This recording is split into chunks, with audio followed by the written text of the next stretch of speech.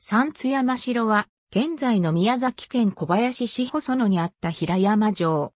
伊藤48城の一つ。別名を三の山城、あるいは、吉富城。現在は、城山団地。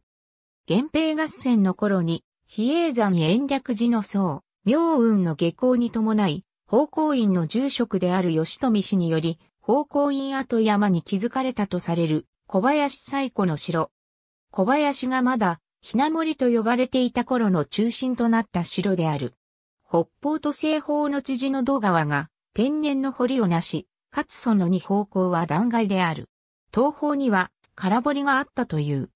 丘陵地の中央の最も高い場所が本丸跡と思われ、本丸と東丸並びに南出丸という角との間にも空堀があった。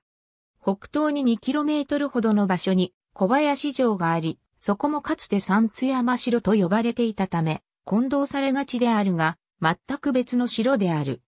現在は住宅地であり、小さな児童公園内に指標が一本あるだけであるが、南西のふもとにある新州仏光寺派の線、ことぶき寺境内に、慶光天皇お腰掛け石が存在し、その案内板に三津山城の説明文が併記されている。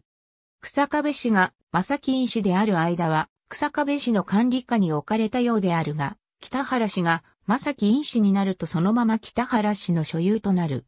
当初、北原氏の居城は飯野城であったが、いつ頃からか三津山城を居城とするようになった。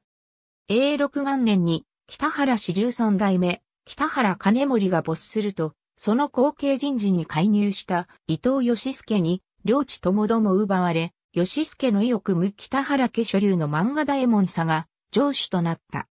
熊野相良氏に逃げ込んだ北原兼近のため、一旦は島津隆久により北原氏の手に戻るが、北原家中の内部分裂により再び伊藤氏の城となる。その以後の城主は平良県県が任命されている。天正4年に高原城、小林城、月城が島津市に帰すると三津山城も島津市の城に返したとされる。元那元年の一国一条例により廃城。ありがとうございます。